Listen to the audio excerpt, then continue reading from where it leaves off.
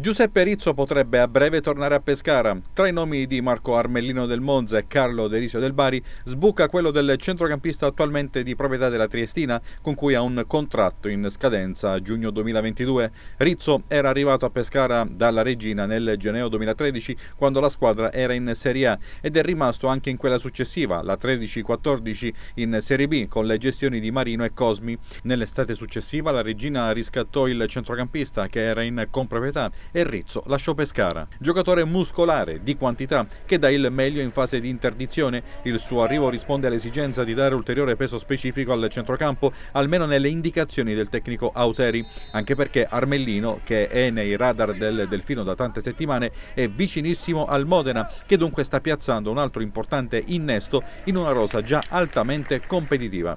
L'arrivo di Rizzo potrebbe far supporre a breve una uscita di Massimiliano Busellato, oramai un separato in casa, al pari di Galano. Sui due, questa la presa di posizione del presidente Daniele Sebastiani. In Serie C credo che non ci sono andato solamente io, anzi loro sono stati tra i fautori di questa annata disgraziata, quindi credo che dovrebbero anche passarsi una mano sulla coscienza anche loro.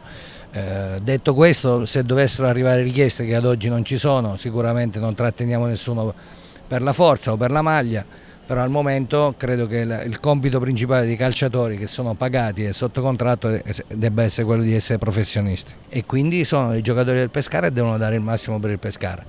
E io pure vorrei avere tante cose belle o tante cose di più di quelle che ho, ma eh, comunque ognuno di noi ha dei limiti. Se non ci sono richieste evidentemente non sono così poi giocatori così importanti.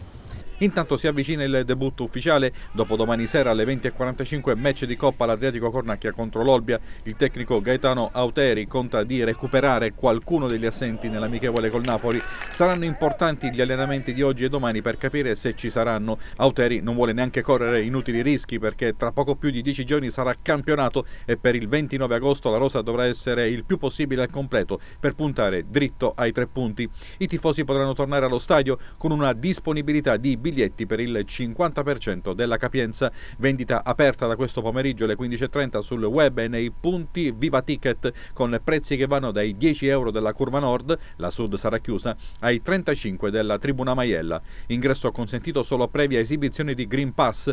Senza certificato verde non solo non sarà possibile entrare, ma non è previsto il rimborso del biglietto. La società stamani ha poi comunicato che i possessori di voucher Ticket One possono riscattare il proprio credito presso presso lo store di via Carducci con il materiale lì presente a causa dell'impossibilità di approntare la campagna abbonamenti per il Covid e del cambio dell'azienda partner del ticketing.